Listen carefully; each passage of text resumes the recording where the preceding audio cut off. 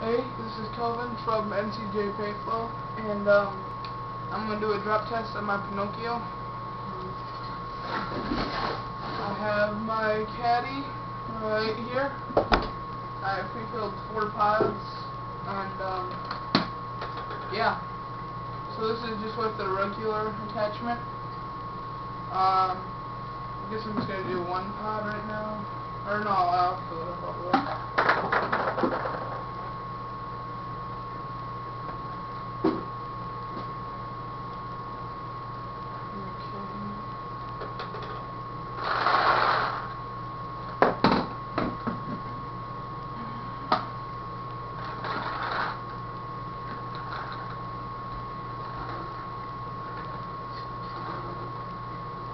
Okay.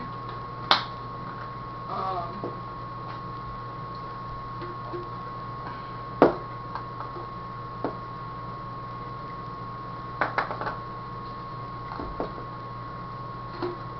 Three, two, one, go.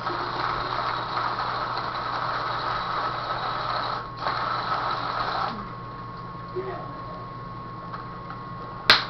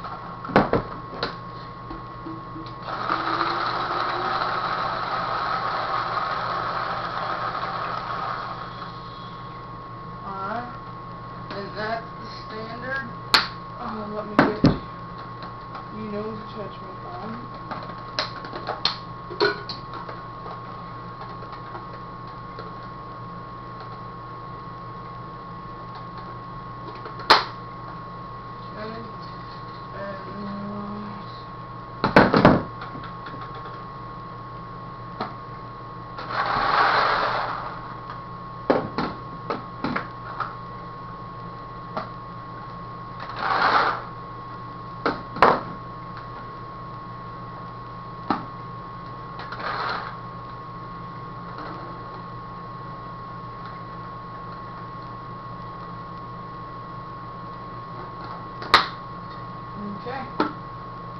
Now I will do the attention. In three, two, one, go.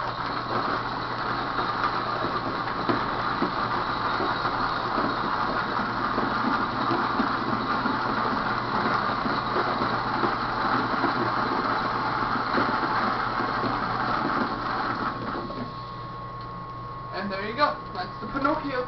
Thanks for watching.